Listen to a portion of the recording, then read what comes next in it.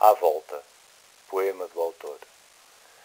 Andou à volta de um baloiço, pensando se se iria baloiçar, andando de um lado para o outro, subindo à frente e indo atrás,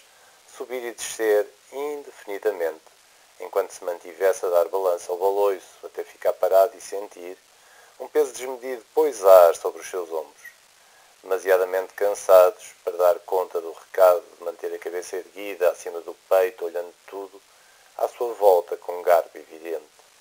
querendo avisar o desastre de ir cair no chão redondo, tocando com sua testa os joelhos recolhidos pelos braços nas pernas, deixando-se ficar de forma inexpressiva com a distância de destas palavras olhar-se a ver um futuro tão incerto